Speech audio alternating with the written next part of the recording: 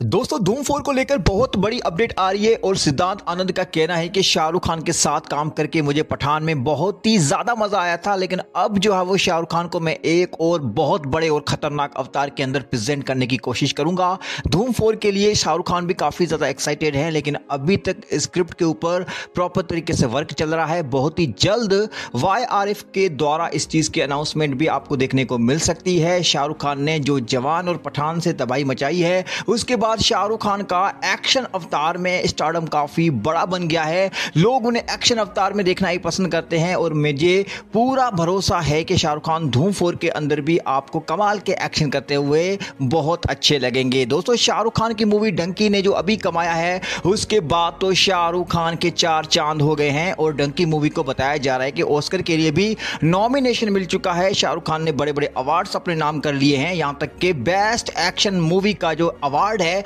वो पठान मूवी को बन चुका है। बहुत ही इमोशनल और साइलेंट मैसेज देने वाली मूवी का जो अवार्ड है, जवान मूवी को मिल चुका है और अब जो है वो धूम फोर को लेकर कहा जा रहा है कि शाहरुख खान के साथ रामचरण, अभिषेक बच्चन और दीपिका भी आपको एक साथ देखने को मिलेंगे। सिद्धांत आनंद होंगे इस मूवी के डायरेक्टर क्योंकि फाइटर मूवी के बाद सिद्धांत आनंद फ्री है। शाहरुख खान भी फ्री है और कहा जा रहा है कि बहुत ही जल्द धूम फोर की शूटिंग भी स्टार्ट होने वाली है। शाहरुख खान का स्टार्टम बहुत ही बड़ा है। दुनिया भर के अंदर जितनी कमाई कमाई शाहरुख खान ने जवान पठान और डंकी से की है। ये इतनी बड़ी कमाई है जो कि वर्ल्ड रिकॉर्ड बन गया है। 2500 करोड़ रुपए कमाने का पावर आज से किसी भी बॉलीवुड से लेकर हॉलीवुड एक्टर में नहीं था। शाहरुख खान ने बहुत ही बड़े बड़े इतिहास के रिकॉर्ड्स को धूल चटा दी है और अब धूम फोर के अंदर अगर शाहरुख खान आ गए तो मुझे लगता है कि इतिहास का वो रिकॉर्ड क्रिएट होगा जिसका रिकॉर्ड कोई भी तोड़ नहीं पाएगा। और शाहरुख खान एक बार फिर से छा जाएँगे बॉक्स ऑफ़िस के ऊपर और एक नए युग का शुरुआत करेंगे। करेंगे।